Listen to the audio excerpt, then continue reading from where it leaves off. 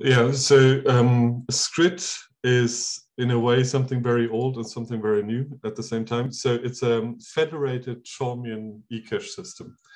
So uh, Chaumian eCash is actually something that was described in the 80s uh, in a in a paper by Chaum, and um, it is basically the closest thing to cash you can have on a digital uh, digital platform. Um, it's based on uh, one-time use certificates that are signed um, by a blind signature algorithm, which means that the issuer of such a certificate cannot uh, trace it, cannot follow it. It can only um, check if it exists, uh, if it's valid, basically.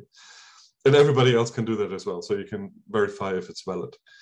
And that means that you have relatively small uh, strings of, of, bytes that you can use um, for extremely fast and flexible payment, um, the same as you would use cash.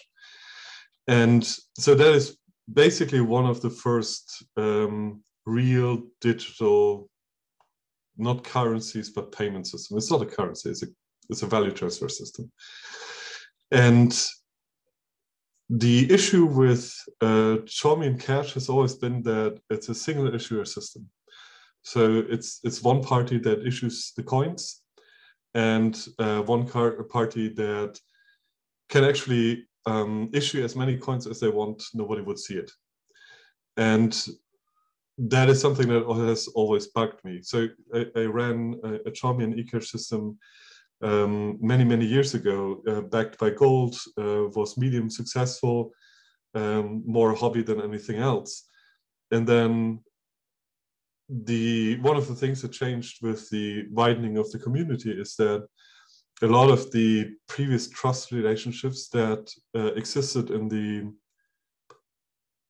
how you call it uh, privacy underground or whatever uh, all of that a lot of them didn't scale anymore and with Bitcoin, they scale. And they scale because uh, trust is distributed over many nodes.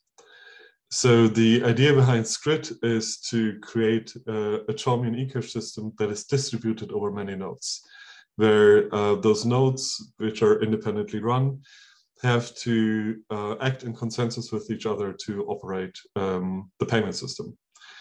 And that is what Scrit is. It is a federated, um, distributed, untraceable, extremely fast, extremely cheap, extremely flexible uh, digital payment system. And um, it is one of two projects in the field that uh, I know. So it's, um, I think I talked about Scrit the first time like three years ago at HCPP. And then um, a few people came around and they got inspired. So by now there's also Fedimint, which is uh, a very similar system. Um, uses the, the uh, basic idea when it comes to mint infrastructure. They're using a different um, consensus algorithm and they're focusing a lot on making it a layer two for uh, Bitcoin. Um, and for us, it's more like a research project. Um, it's a little bit in the context of the TAZ, um, which is actually one of the first places we, we imagined doing this, and mostly for uh, paying for the toilet that we were about to install, um, because you want anonymous shitting, right? So yeah, that is where it comes from. And um, why is it better than Monero or whatever? So I wouldn't really use the term better because that really depends on your use case. Um, something like Scrit is dramatically fast and cheap. With dramatically fast and cheap, I mean that even our non-optimized implementations have um, way below one second confirmation times, like final settlements. Um, I can send you money in something like Scrit and have final settlement with below one second, and that includes internet latency. Um, so it's dramatically fast.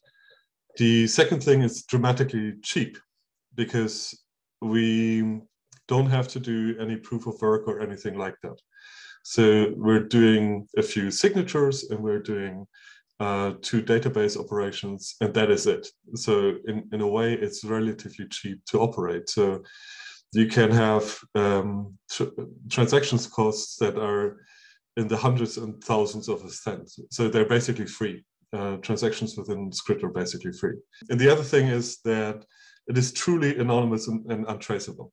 So um, it is impossible to distinguish um, Scrit payments from each other because the blind signature algorithm behind it basically means that your anonymity set is exactly as, long, uh, as big as all transactions that have been signed with the same key, which can be all transactions within a year or within whatever. It can be millions of transactions.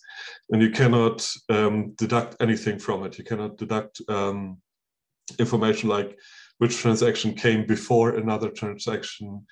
Uh, you, you cannot say what's the source of one transaction, what's the destination of a uh, transaction, nothing like that is, is um, is possible to detect in, in a system like that. Um, what's the status of it? Um, as I said, it's mostly a research project for us. We have um, a working SDK. Uh, we have simulators for it, and we have a full implementation of the protocol. Um, one thing to mention is that um, it's a multi-currency system, so we can uh, support billions and billions and billions of, of currencies in, in one system. And we're currently playing around with ideas of having something like smart contracts for uh, for Scrit. So that is the current um, research thinking. That is Scrit. I, I got curious because it sounds kind of like we're both revolutionary and like amazing when you describe it but since i i'm not uh, even close to being as tech savvy as you i just know that there's all, always like a devil's advocate type of side of every, any argument so what are the weak points then of Scrit like what, what, what's the biggest criticisms you've gotten? Like what are the things that are like in your opinion not as good? The weak point compared to cryptocurrencies is um, how much distribution you can get and how expensive distribution is. Um, so if you want a Scrit system that is tuned for being very, very fast, then you cannot distribute it over thousands of nodes, but you have to distribute it over a few dozen nodes. And one could make the argument that that might be less trustworthy. Um, but the I wouldn't make that argument because I don't consider Scrit as a place where you hold your savings. It's more like you transform um, Bitcoin on chain into Scrit that you use for um, daily payments, for example. And then when your wallet is empty, you uh, reload it, and if your wallet is too full, you take it, uh, take some Bitcoin out, and in a way you have you have your risk profile depending on how much money you're going to spend uh, per per day or whatever um, period you want.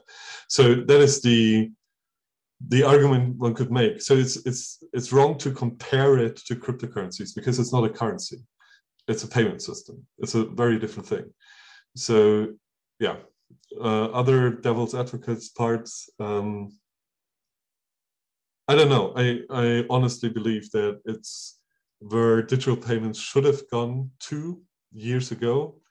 Sadly, there were a lot of patents that uh, prevented that. And by now, I actually think that it's not that interesting for, for the mass of people anymore um, because they'll I don't know central bank digital currencies plus uh, cryptocurrencies, and they'll be happy because in the end, you know, nobody wants an extreme system like Squid, anyways.